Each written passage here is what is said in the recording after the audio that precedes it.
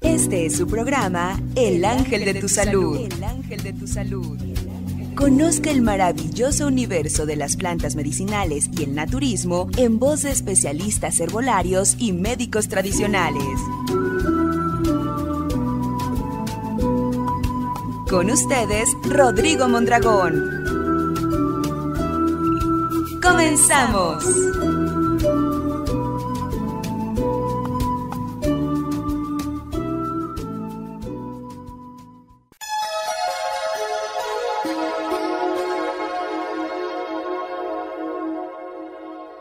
Hola, ¿qué tal amigos? Muy buenos días.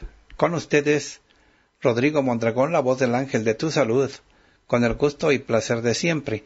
Vamos a platicar acerca de los ataques cardíacos silenciosos. Así les llaman.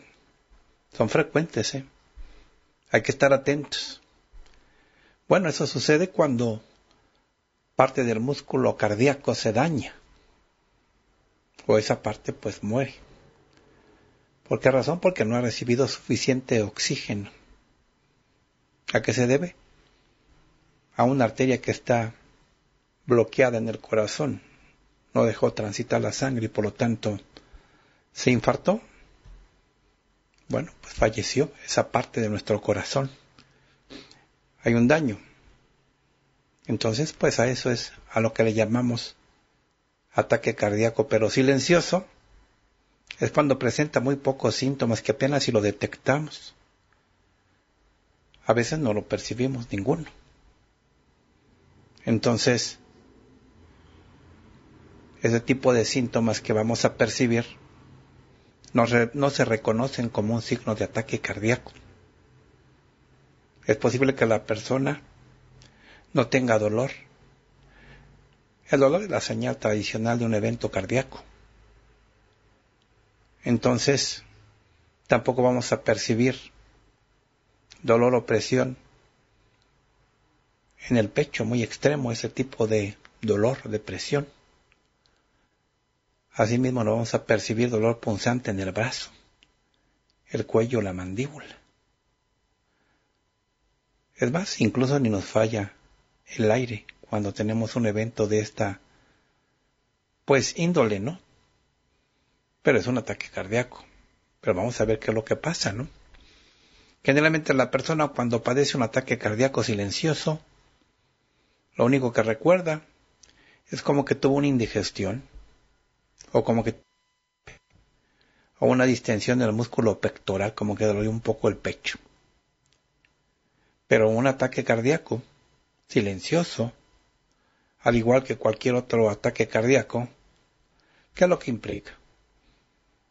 Para poder analizar ya a qué se debe y cómo buscar la solución a través de las acciones terapéuticas de las plantas. Implica obstrucción del flujo de sangre al corazón y por lo tanto daño a ese músculo cardíaco. O sea, algo tapó, algo pues provocó el taponamiento la obstrucción impidió el paso, pues, para que se comprenda. La sangre no llegó a su destino, que eran las células que integran, que forman el músculo cardíaco, el corazón. La fatiga extrema o frecuente, o la incomodidad física en general, son comunes en las víctimas de los ataques cardíacos silenciosos. Sí, esto sí lo vamos a percibir, ¿no? Muy cansados, o siento que mi cuerpo me duele, ¿no? Siento mucha incomodidad física en general. Eso sí lo voy a percibir. O algunas personas que han sobrevivido a ataques cardíacos silenciosos recuerdan igual lo que mencionábamos, ¿no? Pues como que la persona tenía un malestar estomacal o quizá un catarro fuerte acompañado por dolores musculares. Hay estudios que se han hecho, ¿no? Y que se publican en los journals de medicina, donde hacen los estudios a veces hasta por dos mil personas. Entonces los van monitoreando, los van observando. Este que se hizo a finales del 2015 para poder ilustrar de qué estamos hablando. Este estudio se le practicó siguiendo 2.000 personas entre las edades de 45 a 84 años, mitad hombres, mitad mujeres. No tenían ninguna enfermedad cardiovascular, ninguna, ¿eh? Pero luego de 10 años de estar monitoreando, un 8% de estas personas fueron diagnosticadas con cicatrices en el miocardio, en el corazón. Cicatrices, 8%. Y bueno, ese tipo de cicatrices, pues esencialmente es una evidencia de que ha ocurrido un ataque cardíaco. No estaban conscientes, ¿eh? el 80% de ellas. Un 20% pues no describía el evento con claridad y por lo tanto había información que pudiera confundir, ¿no? El evento pero el 80% de las personas, es el 80% de un 8 de los que fueron observados, de un 8%, sí habían sufrido un ataque cardíaco y no estaban conscientes de esa condición. Bueno, en ese estudio también se midió la prevalencia y la prevalencia de cicatrices del miocardio era cinco veces más alta en los hombres que en las mujeres según pues encontraron los investigadores. Bueno, esto nos indica claramente que a veces no se percibe el ataque cardíaco y que por lo tanto no se detecta, la persona no se cuida. Pero en general hay que cuidarnos de cualquiera, ¿no? De cualquier ataque cardíaco. Hombres y mujeres.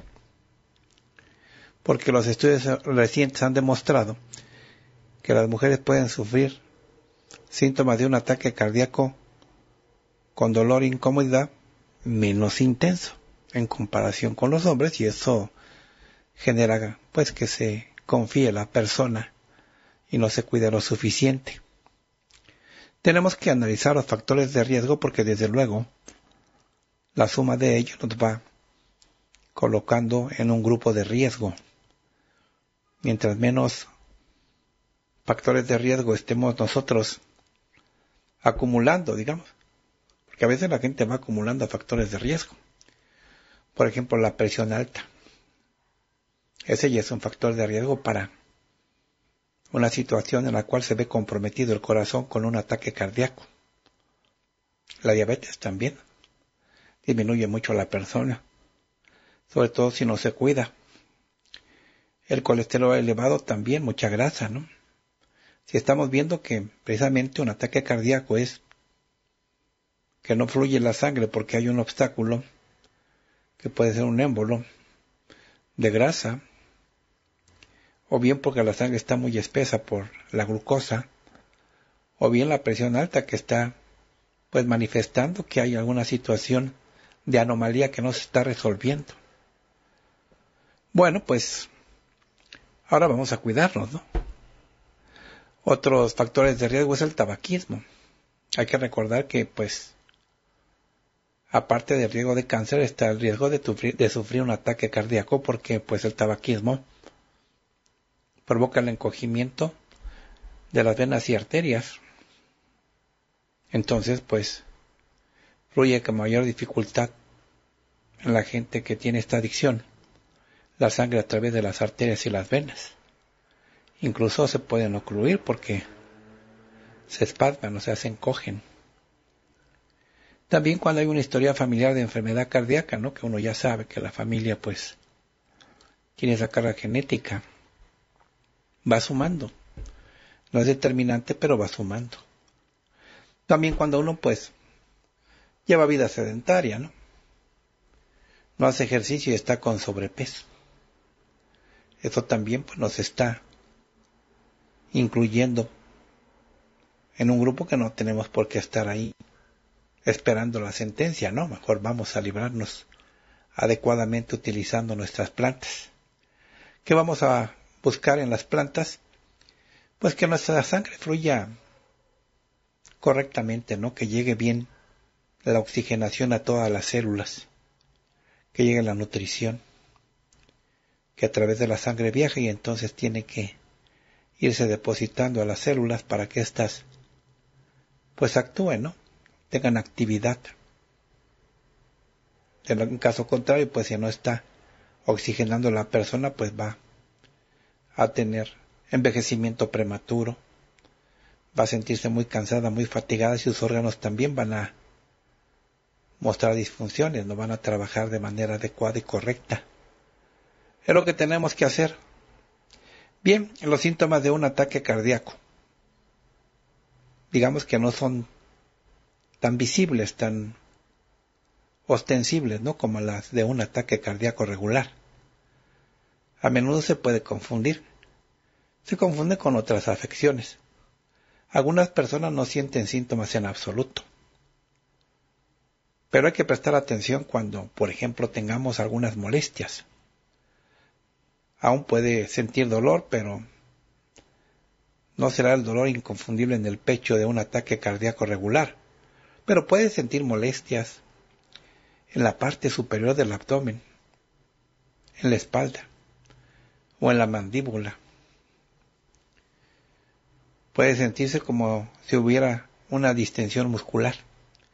También hay que prestar atención a las molestias, ¿no? De esa incomodidad con, con ese dolor, no tan fuerte, pero sí está ahí presente en el pecho,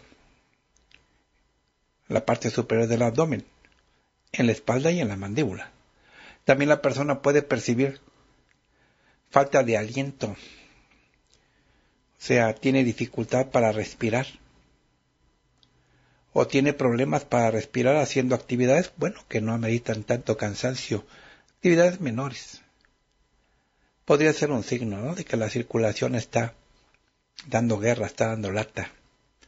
El corazón, pues, necesita que fluya la sangre, que le llegue bien el oxígeno. También se percibe acidez estomacal, un dolor leve en la garganta o en el pecho puede confundirse con reflujo gástrico, con indigestión o con acidez estomacal. Sin embargo, pues es una señal. Hay fatiga, ¿no? Tener malestar físico, sentirse muy cansado. Claro, puede ser, puede ser un signo de muchas cosas, pero también se presenta cuando ocurre un ataque cardíaco silencioso también podría ser que la persona no esté durmiendo bien. Y pues si no tiene esa manera de conciliar su sueño de manera correcta, pues va a haber dolores y molestias en todo su cuerpo. En algunas ocasiones nos sentimos mareados, también hay que tener cuidado, sobre todo si suda frío, si siente náuseas o si se siente mareado. En este caso podría estar teniendo un ataque cardíaco silencioso. Si experimenta, pues, uno más de estos síntomas, pues habrá que de inmediato, ¿no? Atenderse. Porque de lo contrario, pues la situación puede empeorar. Aquí lo que estamos eh, básicamente buscando a través de la descripción de este padecimiento es buscar la conciencia de que tenemos que hacer mejoras circulatorias. Porque no pensamos en eso. Cuando pensamos, por ejemplo, en el sobrepeso, pues decimos qué incomodidad. No me veo bien. No me veo estético.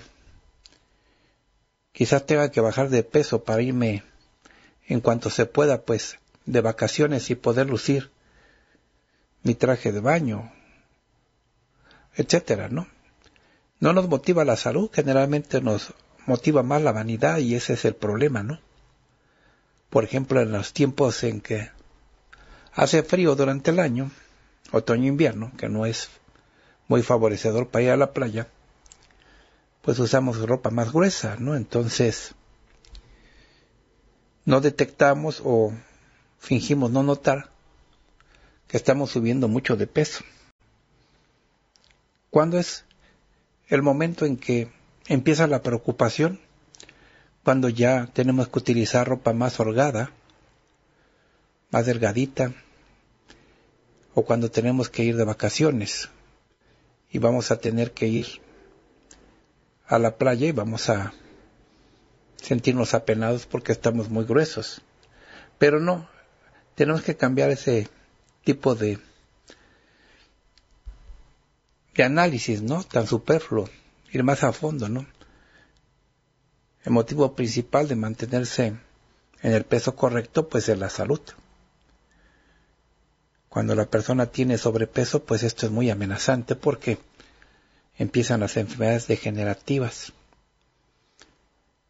problemas con el corazón, con la circulación, problemas con la diabetes, problemas con el colesterol y un sinnúmero más de problemas que podemos evitarnos tan solo si atendemos el sobrepeso.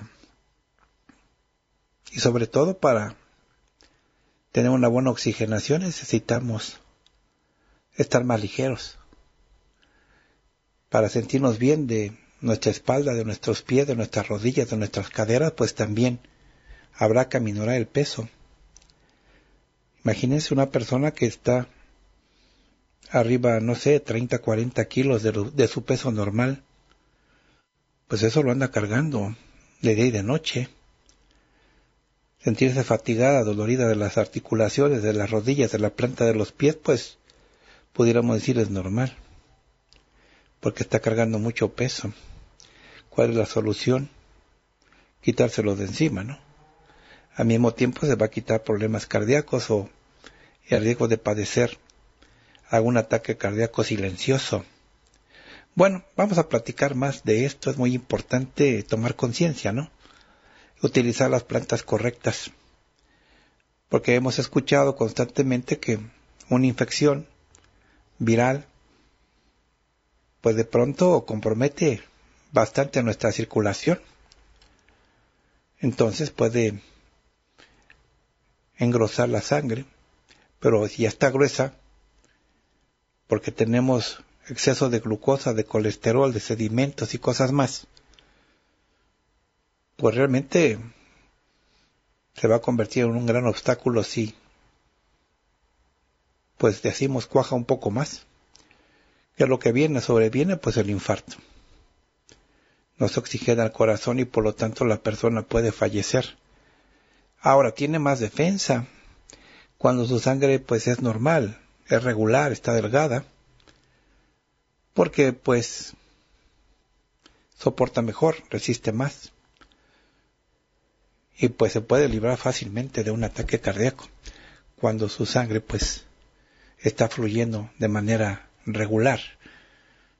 No tiene colesterol, no tiene glucosa en sangre su presión arterial está bien, pues muchas probabilidades de convalecer rápido, de librarse rápido.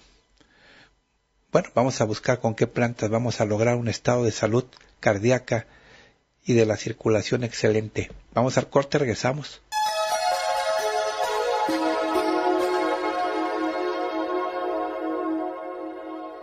Bien, continuamos, estamos platicando acerca de cómo mejorar la salud cardíaca Evitar, claro, con esto, pues problemas de ataques cardíacos que pueden ser silenciosos, a veces no los detectamos. A veces, pues sí, independientemente de cuál sea el ataque que queremos evitar, pues tenemos que seguir algunas medidas de prevención. Desde luego, nuestra formulación herbal es sumamente importante. Algunos cambios van a incluir dejar de fumar si es que fumamos, o evitar el humo de segunda mano, o sea, cuando alguien fuma en casa, ¿no? De manera inconsciente, pues aparentemente está fumando en su recámara, ¿no? Su cuarto. Pero no, si se percibe en otros sitios de la casa, pues estamos ya fumando también. Lo mejor es no hacer eso. Hay que seguir una dieta saludable. Hay que bajarle a la grasa, a los cebos, a las mantecas. Mejor utilizar grasas vegetales pues que son prensadas en frío, como de linaza, por ejemplo, de aguacate, utilizar aceite de olivo, lo que sea, pero que se ha prensado así en frío, ¿no? Hay que hacer ejercicio regularmente. Sí, a veces no se puede, pero podemos caminar. O lo que se llama hoy en día, que es muy importante observarlo, ¿no? Ejercicio productivo.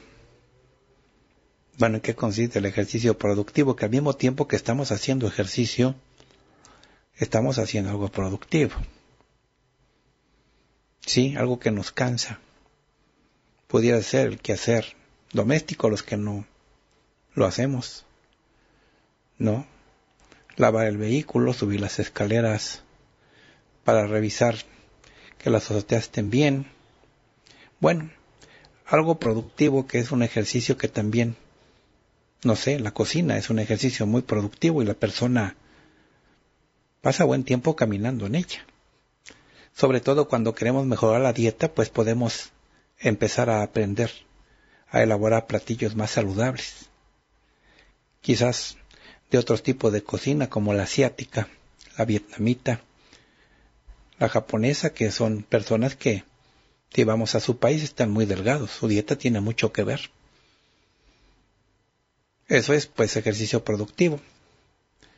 Hacerlo pues regularmente, establecerse metas, ¿no? Y rutinas después hay que hacer eh, este tipo de ejercicio diario, ¿no? Hay que controlar el estrés. A veces eso mismo nos va controlando el estrés, pero también hay que evitar que nos pongamos ansiosos, nerviosos a través de relajarnos. Tomando nuestras plantas nos ayuda bastante, ¿no? Pero pues hay que aportar algo independientemente de lo que puedan hacer por nosotros las plantas. Hay que controlar la presión arterial que no esté elevada controlar su nivel de azúcar en sangre. Pues sabemos que esto tiene que ver también con la dieta, ¿no? No consumir azúcar porque ya la tenemos y no la podemos metabolizar, no la podemos convertir en energía, pues entonces ¿cómo agregar más? Hay que olvidarnos de los refrescos escondidos porque pues la persona diabética siempre tiene, bueno, hay honrosas excepciones, pero siempre fuera del alcance de las personas que lo van a, a juzgar, digamos a criticar, pues tiene dulces y tiene refrescos y tiene galletas por ahí. Bueno, no, hay que tomar conciencia mejor, no hay que esperar que nos digan lo que debemos de hacer porque nosotros mismos podemos hacerlo de mejor manera. Bien, pues todo esto es muy importante. También sería muy bueno utilizar ese tipo de productos como la aspirina, pero vegetal, ¿eh? Sí, para que no tengan ardor o tengan sangrado estomacal. Hay parte de las plantas. De ahí, pues, se hizo la presentación sintética, copiando, imitando una planta. La espirea ulmaria, su nombre completo es espirea ulmaria, pero es del género espirea, por eso es lo de aspirina. Bueno, hace ya muchos decenios que se pasó a sintético, pero podemos ir a la forma natural.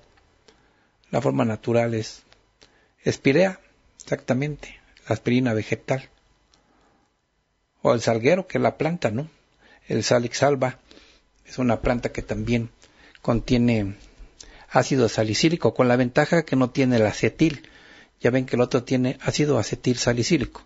De forma natural, sí tiene ese activo, como ácido salicílico y ese no daña, no, no altera a las personas que, por ejemplo, tienen alergia a la aspirina normal.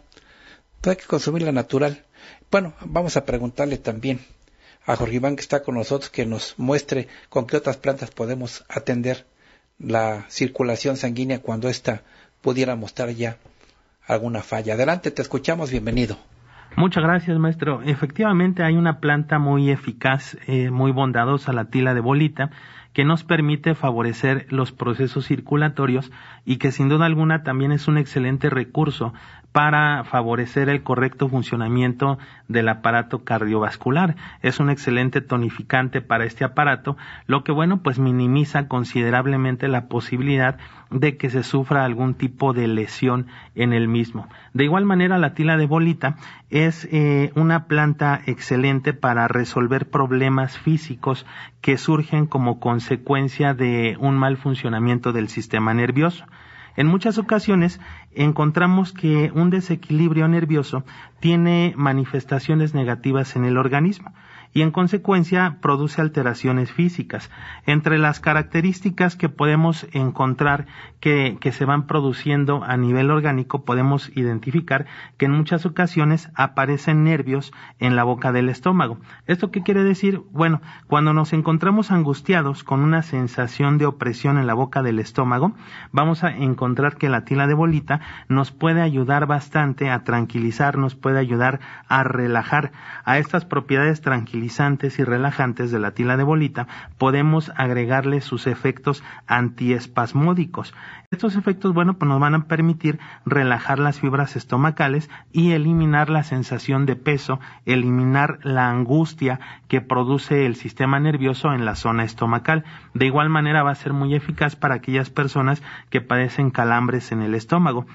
Aquí hay que identificar que las propiedades antiespasmódicas de las flores de la tila de bolita van a ser muy, muy útiles, muy eficaces para remediar esos dolores que se producen en la zona estomacal. De igual manera, cuando se presentan úlceras estomacales, cuando se presentan úlceras en la porción del duodeno, eh, esta planta tiene una capacidad impresionante para relajar el músculo que se encuentra localizado tanto en el estómago como en la porción intestinal, aunado a sus propiedades astringentes que le confieren los taninos que se localizan en la planta y las propiedades suavizantes que le confieren sus mucílagos, bueno, pues la convierten en un remedio por excelencia para el tratamiento de las úlceras estomacales, para el tratamiento de las úlceras duodenales y bueno, pues ayuda muchísimo a minimizar los retortijones, a minimizar y resolver los dolores que ocasionan este tipo de ulceraciones y también muy importante nos ayuda a favorecer los procesos de cicatrización.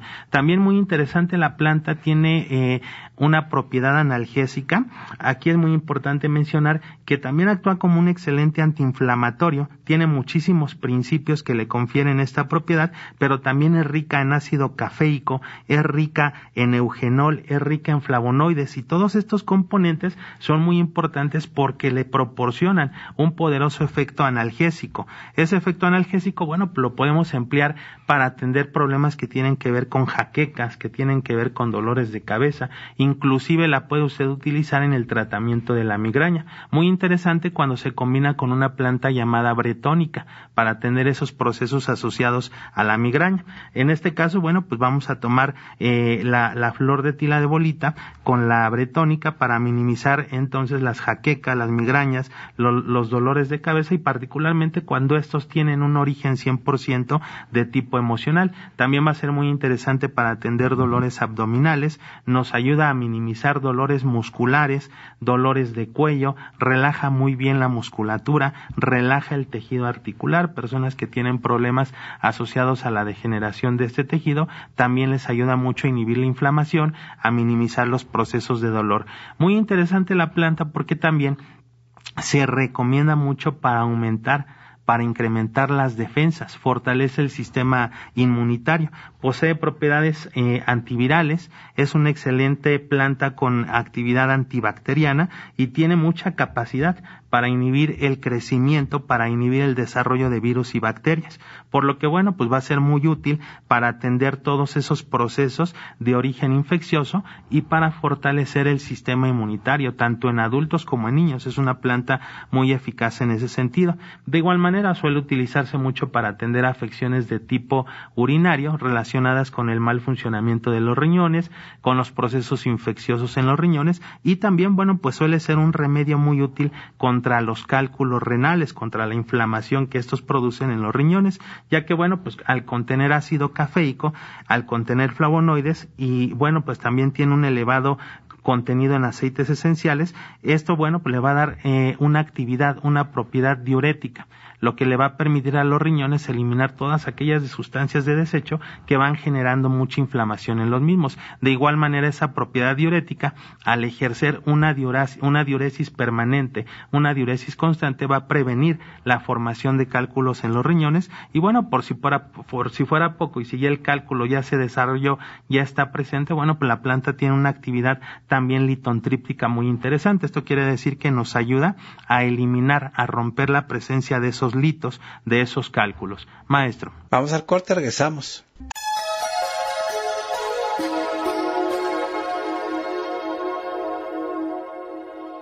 Bien, continuamos, estamos platicando acerca de cómo mejorar la circulación sanguínea. Sí hay que evitar, pues, contratiempos, ¿no? Hay que evitar, pues, accidentes cerebrovasculares también, lo mismo, ¿no? Pero la diferencia es que el taponamiento de la circulación ocurre venas y arterias del cerebro. Ya no es en el corazón. Sin embargo, la causa es la misma y por lo tanto habrá que estar bien al pendiente, ¿no?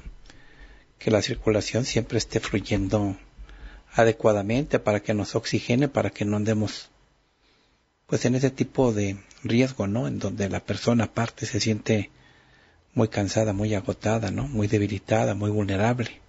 Y que así es. Si mejoramos la circulación, la persona pues se siente más juvenil, más fresca, más ágil, con pensamientos más claros. Vale la pena, ¿eh? Proporcionenos un correo electrónico para enviarle a ese correo que usted nos dé la fórmula que necesita. Bien, nuestra fórmula general la colocamos directamente en nuestra página para que usted, ahí usted pueda servirse de ella, pueda enviarla a un amigo bien pueda, si lo desea, comprar sus productos que integran su fórmula para que usted inicie un tratamiento de inmediato porque le llega pronto a su casa, directamente hasta las puertas de su hogar. Bien, la, la página, ¿verdad? Sería la página, la dirección para que usted visite la página www.lavozdelangeldetusalud.com.mx www.lavozdelangeldetusalud.com.mx También se puede comunicar a través de Twitter, arroba la voz bajo del ángel, a través de Facebook, el Ángel de tu Salud de México. Bien, aprovechamos para mencionar a nuestros patrocinadores. Tienda de reciente apertura, Ciudad de México, Centro Histórico, calle 5 de febrero número 48, casi esquina con Mesones, a una cuadra de la farmacia París. 5 de febrero número 48, casi esquina con Mesones y a una cuadra de la farmacia París. Anotamos el teléfono 55 54 44 16 60. 55 54 44 16 60. En Charco, Charco Estado de México, Avenida Cuauhtémoc número 36, entre calle Arriba Palacio y calle Palma, frente al banco HSBC. En Chaco de Díaz Covarrubias, Estado de México, anotamos el teléfono para más informes. 55 59 82 73 72 55 59 82 73 72 En Texcoco, tienda autorizada. Nicolás Bravo 214, primer piso. Colonia Centro. Entre Fray Pedro de Gante y Leandro Valle. Nuevamente entre Fray Pedro de Gante y Leandro Valle a una cuadra de la catedral, allá en Texcoco, Estado de México, frente a Copen. Anotamos el número telefónico 59 56 88 67 76 59 56 88 67 76 Tienda en circunvalación de la Ciudad de México, en el centro, en la Merced. Dirección Avenida Anillo de Circunvalación número 420, local 4, entre General Anaya y Zavala, a una cuadra del Mercado de los Dulces. Anotamos el teléfono 55 54 91 16 81 55 54 91 16 81 en Culhuacán, tienda autorizada, Ciudad de México, Avenida Tláhuac 3632 Avenida Tláhuac 3632, interior A103, pueblo de Culhuacán, justo saliendo del metro Estación Culhuacán, delegación Ixtapalapa. La atención es de lunes a sábado y el teléfono 55 56 32 92 58 55 56 32 92 58 en Huipulco, Ciudad de México, tienda autorizada, calzada de Tlalpa número 4450, local de Colonia San Lorenzo, Huipulco, enfrente de un VIPS y a cuadra y media de la estación del tren ligero estación Huipulco. El teléfono, pues, es el siguiente 55 55 73 74 90. La atención es de lunes a sábado. Repito el teléfono 55 55 73 74 90. Tienda autorizada en el Centro Cultural Telmex. Avenida Cuauhtémoc número 19, locales 45 y 46, Colonia Roma, planta baja, frente al área de alimentos, entre Pueblo y Guaymas. Repito, Centro Cultural Telmex a un lado de la estación del metro Estación Cuauhtémoc. Teléfono 55 52 07 76 07 55 52 07 76 07. Bien, son los teléfonos de nuestros patrocinadores. Vamos a dar la fórmula, ¿verdad? Nuestra fórmula del día. Ya vimos que hay que mejorar la circulación, algunas señales nos están indicando, ¿verdad?, que no anda tan bien. Los mareos, los vértigos, síntomas de vómito, dolores en el pecho, es no tan fuertes, a veces sí. Bueno, son síntomas. Hay dolor o presión extremos, pues, en el pecho, dolor punzante en el brazo, en el cuello, en la mandíbula, como que nos falta aire. Hay fatiga extrema frecuente, bueno, la incomodidad física en general pues es muy común cuando la circulación no está a nuestro favor. Entonces anotamos la fórmula para hacer mejoras circulatorias, tonificar el corazón y desde luego oxigenar mejor nuestro organismo. Utilizamos amamelis, a jengibre, hierba mora, dólar, tila de bolita, alfalfa bastarda, hojas, Repito una vez más, amamelis, a jengibre, hierba mora, dólar, tila de bolita, alfalfa bastarda, hojas. Mezclamos las plantas juntas por partes iguales, ya mezcladas, una cucharada sopera para un litro de agua, 10 minutos de hervor. Se toma como agua de uso. Ahora las cápsulas, ajo con alanina, condroitina, ornitina con picolinato de cromo, aceite de tortuga. Nuevamente, ajo con alanina, condroitina, ornitina con picolinato de cromo, aceite de tortuga. Bueno, de estas cápsulas, una de cada una se toman antes de cada alimento. Ahora pues el producto adicional que es para fortalecernos, para coadyuvar con la fórmula o bien para que la persona tenga más resistencia en su sistema inmune, mejor circulación, una depuración orgánica que hace falta para que la sangre circule ligera, con los componentes suficientes y necesarios y no con excedentes estorbosos, utilizamos la bebida de sábila. Bebida de sábila les doy la clave 1804. Se toma un vasito dosificador o vasito tequilero. Se toma en la mañana, al levantarnos y antes de acostarnos, dos veces entonces. En la mañana levantarse y antes de acostarse nuevamente. Un vasito dosificador o un vasito tequilero. Bien, pues esa es la, la fórmula del día de hoy con su producto adicional para que usted tenga mejoras significativas y tenga prevención y anticipación a un padecimiento que puede ser bastante severo. Bueno, vamos a corte, regresamos.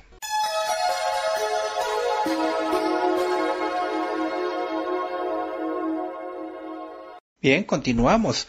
Vamos a dar asesoría volaria a las personas que nos llaman vía telefónica, así es de que iniciamos. Buenos días, ¿con quién hablo? Con Oralia de San Luis Potosí, San Luis Potosí. Doctor ¿De acuerdo, Oralia? primeramente quiero agradecerle una fórmula que me dio hace un mes y medio para una hermana mía que tenía un problema en la boca.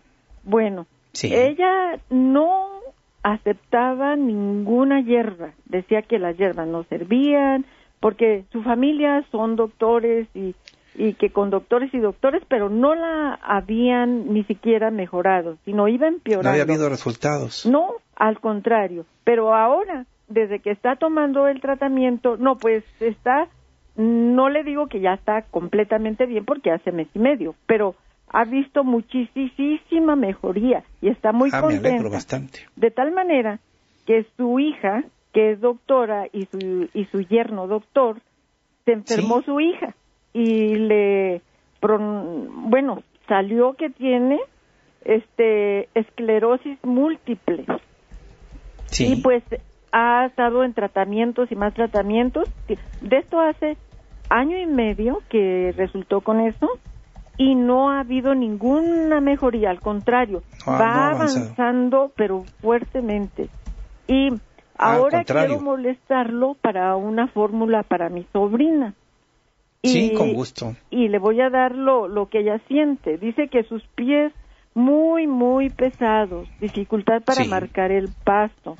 Y como si trajera calcetín, su calcetín doblado en ambos pies y falta de sensibilidad del abdomen hacia abajo y el estómago como si trajera una faja bien apretada. Y está súper nerviosa. Y le dije si te quieres aliviar primeramente Jehová enseguida Mondragón y enseguida las plantas y vas a ver el buen resultado. Dijo inmediatamente pues ya vi el resultado con mi mamá. Así es de que tía pídame una fórmula. Y se la estoy bueno con gusto. ¿Qué edad tiene tu sobrina? Mi sobrina tiene, cuaren, tiene 43 años, su estatura ¿Cuánto es... pesa?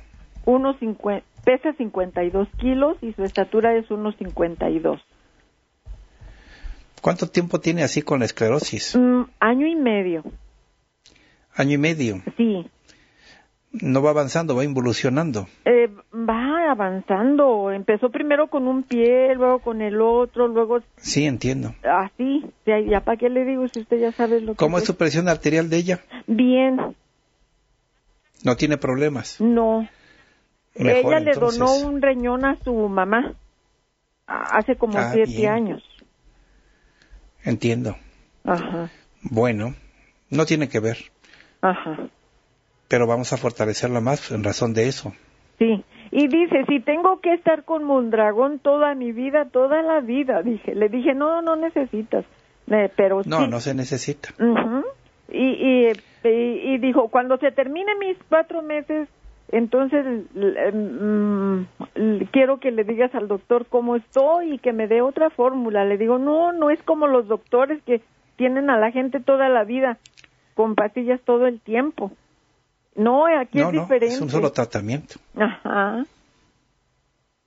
Pues vamos a hacer el, la formulación para la persona, lo necesite con gusto aquí. Nosotros estamos para eso. Sí, doctor. Vamos anotando entonces. Y gusto saludarte, Oralia. Igualmente, doctor. Bien, utilizamos lo siguiente para esa persona. Utilizamos fresno, regalicia, palo de gilote para ella, claro. Vamos a utilizar níspero. Yo los ochil. Y tenemos que utilizar otra más. De la candón. Bueno, la formulación para que la persona pues tenga movimientos, los recupere nuevamente. Fue fresno, de Galicia, palo de gilote, níspero, yo los ochil, lacandón. Mezclamos las plantas juntas por partes iguales, ya mezcladas, una cucharada sopera para un litro de agua, 10 minutos de hervor. Se toma como agua de uso. Entonces ahora vamos a utilizar los suplementos. Muy importante los suplementos. Bueno, entonces sería maitake, linsi, son hongos, maitake, linsi, Vamos a utilizar ginseng del sur. Borraja y prímula.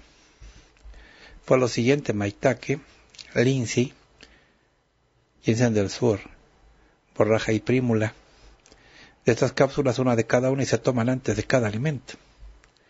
Me da gusto atenderte. Bueno, atiendo a la siguiente persona. Buenos días, ¿con quién hablo?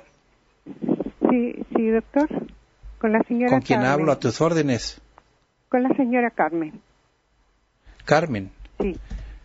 Bien, a tus órdenes, adelante, te escucho, dime en qué te ayudo. Y le agradezco de todo corazón todo lo que hace por nosotros y, le quiero pedir un favor para mi nieta. Mire usted, ella es una niña de 15 años que en el pasado um, noviembre fue diagnosticada con un sarcoma en la rodilla. Y sarcoma en la rodilla, el sí. que presentaba, eh, mi hijo se la llevó a las quimioterapias, pero este, pues la bola estaba dentro y ya ahora ya resultó que está alrededor de la rodilla. Y, y en, cada, en cada quimioterapia ella se debilita bastante por los vómitos y, y todo eso y ha bajado 10 kilos. Sí, por las secuelas. ¿Perdón?